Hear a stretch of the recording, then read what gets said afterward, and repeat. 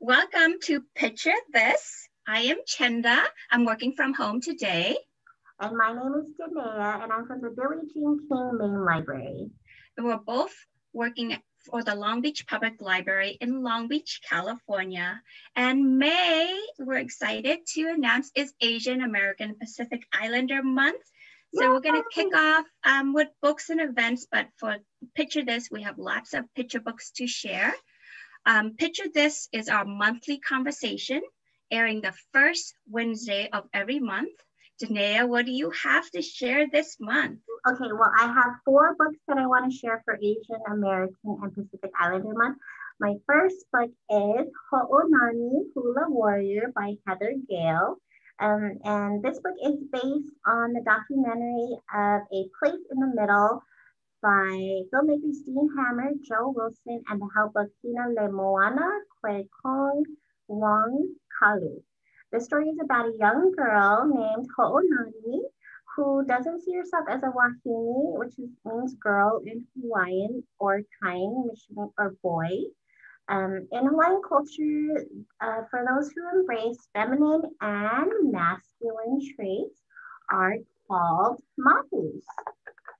And in the front, in the beginning of the story, you actually can read, there's an excerpt in the beginning that tells you about um, the, the role of the mahu in their society and how they're really looked highly upon. They're very valued. Um, so in this story, Ho'onani is wants to audition for the high school kane, which is a traditional um, hula chant. And these are mostly done, uh, these chants are mostly done by males. And so she wanted to go and try out for it. And there was, and with that, you have to audition three times with this um, to be able to see if you can be part of the group. And she went to all three and she was excited and she was nervous to do this because she was the only girl. But she felt it inside her that this is something that she wants to do. Her parents supported her, but her sister wasn't really sure about it. Like she just wasn't sure why her sister wants to do a lot of stuff, more of the kind stuff. Um, but more, uh, Nani is like, I like, she likes to do both. And she wanted her to accept her just like that. So see at the, at the audition, you can see that they're all boys. There's no girls that are trying out for except for Ho'onani.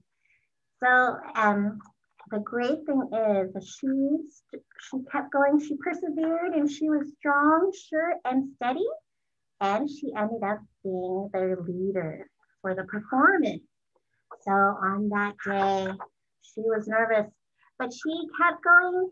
And as you read through the book, you can see that like all the wonderful things that she has to do to get to it. And this is them at the performance. And there she is right there. She's right into the, she's leading the group. And she, and, and throughout the story, you hear this, you see this, it goes strong, sure, and steady. That's what she was. And um, even though her sister was kind of hesitant about her doing all these stuff, she was actually the best supporters at the end. Um, I thought this was a beautiful story that's part of the Hawaiian culture. And I hope that y'all check this one out. It's a very beautiful book. Okay, I'm gonna move on to my next one. And the next one is A Big Moon Cake for Little Star. And this is written by Grace Lin. Um, this is a little bit older. This was back in 2018, but I wanted to share this one because it's such a cute story. Uh, this is Little Star, and you can see her. She's eating a big moon cake. so in this story, you can see a mother, her mother, and Little Star baking a moon cake. And one night, when they were they able to, um, they baked the cake, and the mom wanted to lay out the big moon cake um, out onto the night sky to cool. And her mother told her, don't eat it. We have to save it because it's so big and we want to, you know, you don't want to eat it all. But did little one listen? I don't know. She fell asleep and she was hungry and she took, she tiptoed and she ended up going to the really big mooncake and she took a little nibble and then she went back to sleep. And she snuck back. What do you think happened? We'll see. And she kept going back and eating. This is a really big mooncake. so, so it's really cute because in this book you get to see how she really enjoys this mooncake and how then we get uh, how the moon takes shape. So at the end, it's really cute because the mother goes and she wants to go look for the mooncake, and there is no mooncake to be found except for little crumbs. So at the end, we have to find out if what happens to little moon, a little star, and her mom when her mom finds out that she ate all of the mooncake. So our next one is I have drawn together. This is but written by Minh Le, and he is a writer and also a first generation Vietnamese American. And um, also the we have the illustrator, my favorite, Dan Santat, who helped illustrate this book. Um, this book was published in 2019, but I wanted to showcase this for AAPI. Um, this is a somewhat wordless picture book about a grandson and his grandfather who I guess you can see that trying to communicate was not really, it wasn't, is not the easiest thing to do because language and their likes, they like different things, but they still really love to be with each other. So, um, but never fear, the grandpa notices his grandson drawing and this is something great happens they come together without the use of words, but by immersing themselves in their drawings together. So Dan Santat did a wonderful job creating the illustrations to help tell this story. So you have to read it to find out how they were able to communicate. And really, the illustrations in this book are just beautiful. So that's my other one. And my last one for it, and then I'll move it on to you, Chenda. This is um, The Many Colors of Harpreet Singh. So in this book, his story is about Harpreet Singh who loves colors and he has different colored patkas. So patkas are turbans on his head. So, so whatever mood or he, whatever occasion or feeling he has, his his turban or his patkas always kind of tell the story. In this story, it's um, his mother finds another job in a snowy town across the country. So Harpreet is usually in a very sunny, happy place that he loves and he has to move. And then he wore, you can tell as time progressed, he was really sad because he had to move. And his turban or his pack has turned to gray because he was sad. And then he turned, and he always wore white because he wanted to become invisible because he was sad. And if you look at it, some of the people kind of notice that he's sad. So one day, as he's walking, he notices a hat on the floor. And it looks like a frown. But then once he picks it up, it's a smile, and he knew who it belonged to. And from that day forward, he made a friend of his own. And then after that, the colors came back and everything seemed to be going well. And at the end, um, you know, that he knew and the colors and everything came back to him and he was happy. So it just took time. And it was really, it's a really wonderful book about colors and learning about uh, the turbans because in the back it actually talks about the history of it. Um, and one of the things I learned was that reading uh, that turbans, your mind speaks that everyone is equal and important. There's more information on here, but I really like that one. So that is my last book. What about you, Chenda? I know you have some books that you want to talk about. I do, but I love your your selections, especially um, I, I can't wait to um to read about is it Harpreet Singh? Yeah, especially the the author's note about um Sikhism yeah. So that's something to the, understand the reason why that uh, you know they the word turban. Yeah. And I love um I felt so um touched by the drawn together book. You know, um grandparents and parents of um who come to the United States and don't speak English and then they have children in the United States.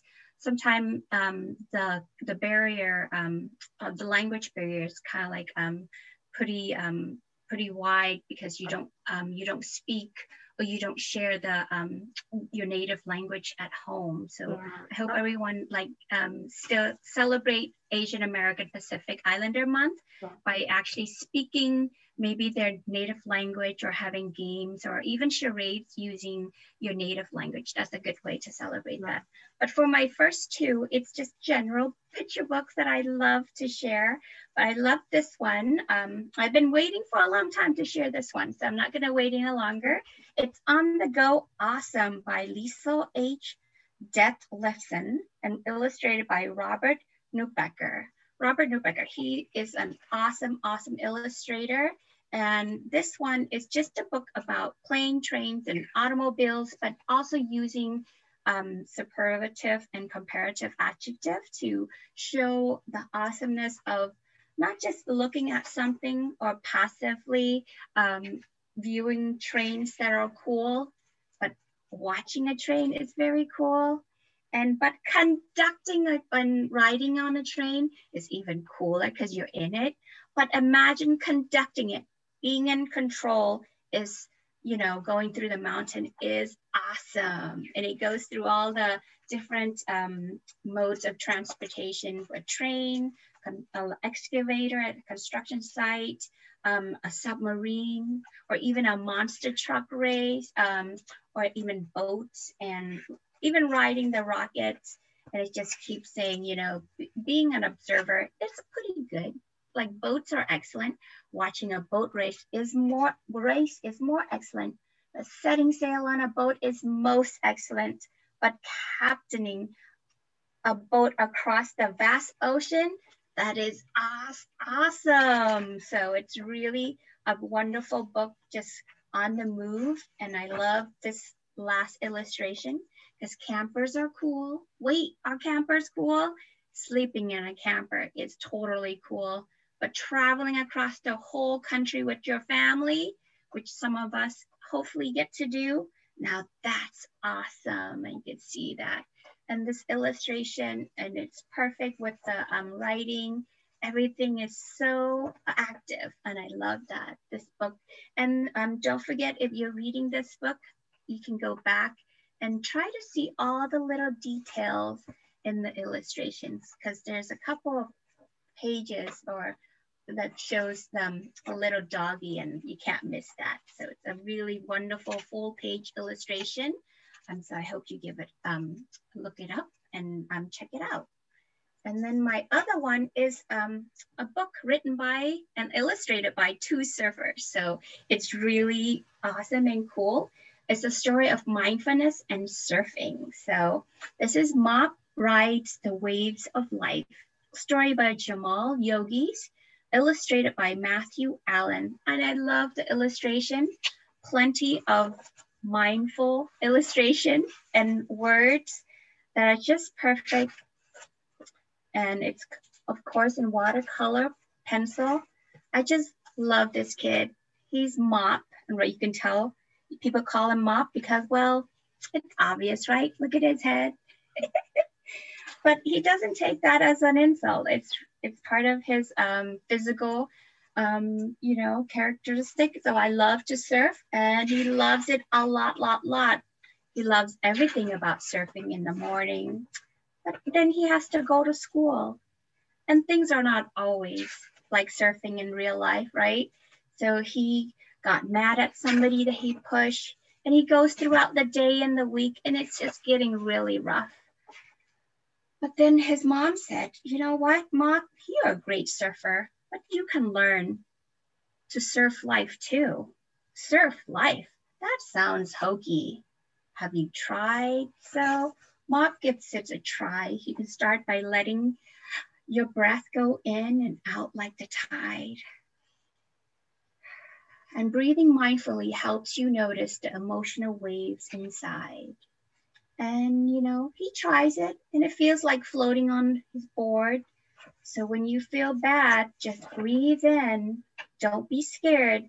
The stormy waves are natural. And it's it's wonderful. So you you see the notice that illustrator, the author and illustrators detail the waves are kind of like fear, anger, sadness. Those are natural feelings. And like waves, you can just let it go through you.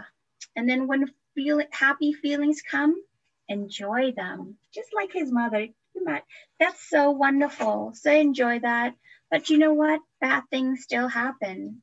And you know, Mop has to just learn to deal with it. Take a deep breath, you know, let it go a little bit. I felt my breathing in and out like the tides. I remembered angry waves are natural, but then, you know, he had, he saw a choice. So he still felt bad, but he knew bad won't last. And he t- found ways to deal with his emotion and all the way back to the beach. So Mop rides the wave of life. It's really cool and awesome. And I can't wait. The author does have another book coming out. It's Mop Rides The Wave of Change. And I can't wait to see to read and look at the details of that one. It's illustrated and it's totally awesome, just like the two surfers that wrote it and illustrated. So I can't wait for the next one. And then Danea, what do you have? Or do you want me to go on? Oh, you can go ahead and go on. Okay, so this is my my favorite for the AAPI um, sharing because I love this author. He's um, came out a long while ago with the Still Stuck. The author's name is Shinsuke Yoshitake.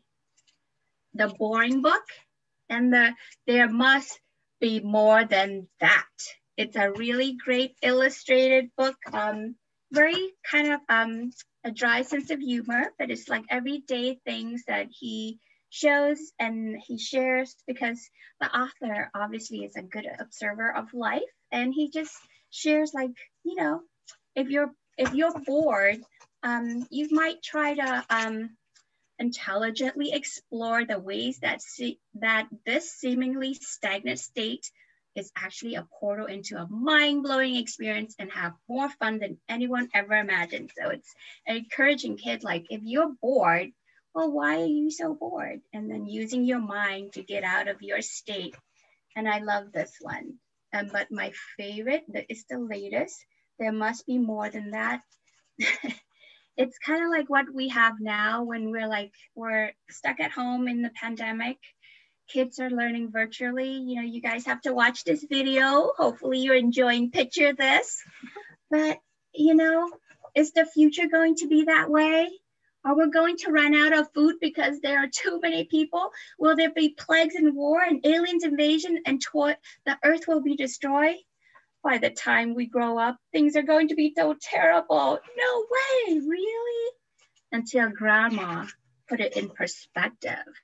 Don't worry. No one really knows what will happen in the future. Sure, there will be bad things, but there will be lots and lots of good things too. Grown up act like they can predict the future, tell you what to do every way, but they're not always right. And so she goes along, and grown-ups often tell you to choose one of two things, right? This one or that one. But if neither of them seems right, there are more choices out there. Over here, look, there are many different ways of looking at the future and the future where it's okay to spend the rest of the day in pajamas. Could you imagine? Ah, we can go out. I see some people going out in their pajamas sometimes. what if every Saturday is Christmas or whatever holiday where you get the most presents or where you can you just using your imagination, you can think of what what if the future where someone does your homework for you? Ah, that would be nice. Or if your future where your room has a zero gravity switch, we can just float out and about. And so she convinced her brother, that's pretty cool. And there you go. So you can start thinking of like, what can your future be? What if you have um, a spot on your dress and then your mom lets you paint that spot all over your room and everywhere else. It's pretty cool, and I love the illustration.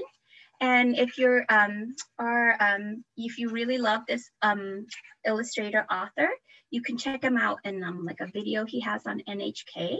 It's a great interview, and you learn that he actually um, draw all these pictures in um, in little um, index card because he never um, he cannot draw in big pictures like this. So he has to take the illustration that he draws in little cards and they enlarge it. And it turns out the author, even though he's a wonderful illustrator and gives gives really funny text, he's not a good colorist. So he's not great in everything. So they have to have somebody that does the coloring separately. And I love this last illustration. It's like, hi mom, what's for dinner? Huh? Just leftover. But we have some eggs. Do you want one? Boiled or fried? What? Oh, she's so mad. But there are more ways to make an egg than that. And then she has two and a half pages of just other ways you could have your eggs except she can't decide. So I hope you give this author illustrator a try. It's a really wonderful book. Uh, so do you, you want to go on? Oh, well, I have Mother's Day books. So do you have any other books that you want to talk about? No, my last two is Mother's Day too, because oh, oh, May is also yes. Mother's Day. Yay. Everyone has one. Yeah. yes, or more than one, or what? Uh, yes. so um, I picked um, two books, or and um, two authors actually for this. So um, this isn't actually a Mother's Day book, but this is a new book that we have in our picture book section, and it's titled "A Gift for Amma." It's a market day in India. So I thought this was really a fun book to have, and um, Amma in South Indian languages means uh, mother. So in the story, we follow a girl who wants to go to the market and to surprise her Amma with gifts. So she goes to the market and we are presented with such beautiful illustrations. And and not only that, we have um, not with the illustrations, but we have uh, the colors again, which but then this is different because we have saffron orange. So they're very specific colors and it helps um, describe the beautiful things that she finds and she also makes. Like this pink page is the lotus pink or peacock green, which is actually showing in the background. and I have vermilion red. I had never heard about that. And then also there's red hot peppers that spill over her face and she sneezes. So I thought this was a really great book and it um, really shows like the life in the market day in India. And also, you, I, we always love it when there's information on the back of the book that tells us about the story. So this actually is, um, at the end, the author explains that uh, the market in the story is based on the Vadapalani and Mylapore markets in the author's hometown, Chennai in India. So these are the things that you would probably find at the market. So there's like jasmine, lotus, pigeon. You'll see pigeons over there, terracotta, indigo. So there's colors, and um, she also talks about different markets around the world. And you can't forget a picture with her mother. So this is the author and her mother, and um, it's a very beautiful book. This is one. And my last um, author is Amy Rosenthal, who has written actually many books about mothers, and these are two that I wanted to show today. So um, the first one is That's Me Loving You, which is a very sweet book. Um, and it's a story of a mother telling her child that um, she is, that no matter where you go, um, she'll always be there. Wherever you are, wherever you go, always remember and always know. So, for example, that shimmering star, that's me winking at you. So, everything that you might see or you look at, um, the mother's reminding her child that that's just her sending her love. And at the end, no matter what, um, so at the end, that feeling you always have in your heart, that's me loving you. Whether together or apart. So this one's really, it's a really sweet book if you guys want to read it together. And then this is a really funny one. I love it. And it's bedtime for mommy. So it's a really, it's an opposite. And I think we were talking about this, how uh, parents will love this too. The kids would put them to bed. So in the story, we have a young daughter putting her mother to bed. And it's the same, she's doing the routines that we would probably do if we were had to put somebody to bed. So it's time for bed, mommy. So as you can see, the mommy's working hard. And she's like, and the mom goes, five more minutes. Okay, five more minutes, but that's it. So they get into the routine. She gives her a bath. She tells her story, puts her to bed, and don't forget, like I'm thirsty, so she wants some milk.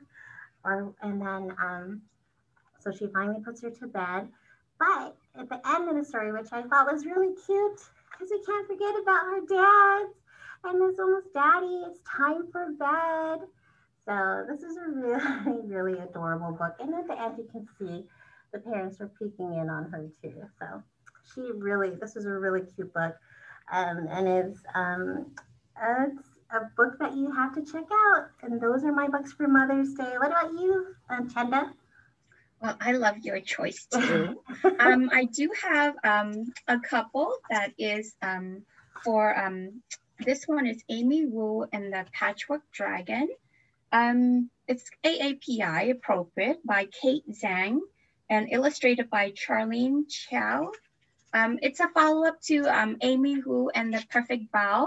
And it's a, a little bit of a mixture of um, kind of like um, Western and Eastern kind of like um, storybook about what's your perception or what's your cultural um, introduction to dragons. So during story time, the teacher, Miss Mary, reads Amy's class a book about dragons. And then they do, they listen to the characteristic of a westernized dragon. Um, and, you know, so the dragon are usually hoarders of treasures. They blow fire, they fight the knight. And then she tells everyone to make their own dragons. But Amy has a different idea what a dragon should be because of she's heard story from her parents and her grandma. And so she draw a different dragon that does not look like her classmate's dragon. And they kind of make fun of her. Or said mm, maybe she's wrong. Maybe her dragon is not right. And she struggles with it until she goes home and grandma oh why the sad face. So Grandma tells her, and her grandma gets a twinkle in her, twinkle in her eye. Come, she says, let me tell you a story. Then she tells them about dragons that bring down the rain, dragons that are wise and just, and dragon that fly without wings. Very different. And then Amy remembers the dragon, that costume that she has in the attic, and they bring it down and then she has a wonderful idea with her parents and grandma's help. They created something of a mixture of the Western and Eastern dragon and shared with her classmates. So it's a really cute story just about what is the different cultural uh, definition of certain creatures and what do you have in mind when you a certain animal. So a dragon in China story and mythology is very different. So there you go. And then the author included also a dragon activity in the back that you can do. Uh, and then she also explained that Eastern dragon is a symbol of good luck. It's not fearful and strength in many cultures. It usually has a long, thin body and no wings. So that's very different and in different colors and can have wide range of magic powers depending on the story and often they're very intelligent. While a Western dragon is usually right, it has four legs and like big leathery wings and claws. And um, so, unlike Eastern dragons, they often breathe fire. So, their horns tend to be sharp and pointy, and their claws look like lizards' claws. And they're greedy and live in caves and love treasures. So, it's a little different, but that's what you can share when you are coming from two different culture, Eastern or Western, but they're all wonderful to share. So I hope you give this a try. And my two final books is celebrating Mother's Day. Um, this one I will share first. It's so wonderful. It's digital illustrations and it um, talks about this little girl that is getting ready to go to school and she looks at herself in the mirror. And some people have eyes like sapphire lagoons with lashes that lace like lace trim on ball gowns, sweeping their cheeks as they twirl. Big, big eyes, long lashes, but not me. So she's looking at her friend, who are very different. I have eyes that kiss in the corner and glow like warm tea, just like mama. So happy Mother's Day. Um, so it's wonderfully illustrated. And she goes on to how she feels about having the same features as her mom. Not all of us look like our mom, but it's kind of nice to see them in books that look like us. And her mama is just have eyes that just like Ama's. So maybe her grandmother Oh, and then her grandmother tells her and share her stories. And then guess what? My Ama's never, eyes never age. Her eyes are just like Mei Mei. So she has a little sister. The Chinese word for like little um, little sister or younger sister, Mei Mei. So that's we don't know her little sister's real name, Mei Mei. Mei Mei's eyes that kiss in the corners and glow like warm tea blink against the window until I come home from school oh, there's her little sister modeling after her, and they play they play together. She toddles after me, gazing up at me like I am her best present. And there you go. Mei Mei's eye that kiss in the corners and glow like warm tea are just like mine. And there she is, Here in the future. My eyes that kiss in the corners and glow like warm tea are a revolution. And there you go. You see her eyes, so beautiful. Kind of remind me of you, Danea. they are Mama and Mame, Ama and Meme. They are me and they are beautiful. So I hope you guys will take out pictures of your mommies and grandmommies and look at them and see, do you guys have their eyes? Or maybe it's a little different too. Uh, I like and, that one. So this one I forgot to introduce is by Joanna Ho and illustrated by Dung Ho. There you go, it's beautiful. And this one is another one to celebrate mommies. And what I like most by Mary Murphy, illustrated by Zhu Shang Ling. It's a beautiful picture. It's a picture book that has all the illustration that you can possibly love with a perfect little girl in the beginning that says, What I like most in the world is my, and then she starts out with her window. And then she goes on to talk about her apricot jam that her grandma makes. Her favorite shoes is my favorite one because they're the shoes that glow. You know, I've seen these that they blink and they have little lights. And she liked them because Except for these shoes, they have lights that flash to show where I am going. I can walk and jump and run in them. My feet do a tiny bounce with every step. One day the shoes will wear out or my feet will grow too big for them. Right now, they are what I like most in the world. Except for she goes on to talk about the river that she loves most, the fries that she loves most, the book, and her teddy bear.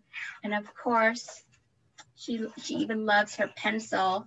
And there's a picture of her being smaller than her teddy that she got. And her mom. Except for you, you have been here since before I was born. You look after me. Mostly we have good times. Even when we are upset with each other, we belong together. And even though you change and I change, look at her and her mom facing off. What do you think they're fighting about? You think she doesn't want to wear a coat or keep leave her teddy bear at home? We don't know.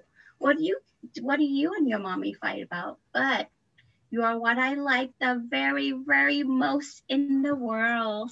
Oh, that's so sweet. And then at the beginning, we see it's like spring and then the summer. And like everything in the beginning to the end, everything changed, but some things remain the same and what you like most in the world. So I hope you guys will give this um, book um, a review or read it and share it together. And what I suggest you can do is you can start out making maybe your own scrapbook, maybe a picture collage of what you like most in the world and why, and see how many you can come up with. That would be a good one. You can put a picture like the illustrated it, what you like most in the world and why. And but except for what's the next one gonna be? Do you like going for walks with mommy? Maybe your cat, or maybe your dad, or who else? Or what else do you like most in the world except? So I hope you give this a try. All righty. Oh, we can't forget besides Asian American Pacific Islander Month and Mother's Day, um, we have a lot of activities and events to share um, during the month of May. So um, be sure to check out our um, um, library website, lbpl.org or longbeach.gov forward slash library. And also you can find us on Facebook. And if you Google picture this on YouTube, you'll find us there also. Oh, yeah. So if, if you're interested in any of the books that we have mentioned today, type in picture this 0421 in the search. So 0521 the, um, our library catalog um, search bar and the list of book will, will appear. So I hope you give that a try. So we'll see you next month. Thank you for joining us for Picture This. Farewell and stay safe. And this is Chenda. And I'm Tamia. Bye. Bye.